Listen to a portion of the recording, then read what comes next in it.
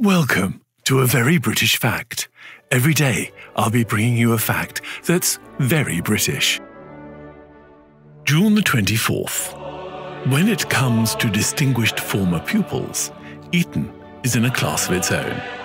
The archetypal English public school, which first opened its doors today in 1440, has educated a prodigious 20 of Britain's 55 prime ministers and other high achieving students include Percy Shelley, George Orwell, Francis Bacon, Ian Fleming, Christopher Lee, Matthew Pinsent, and Bear Grylls.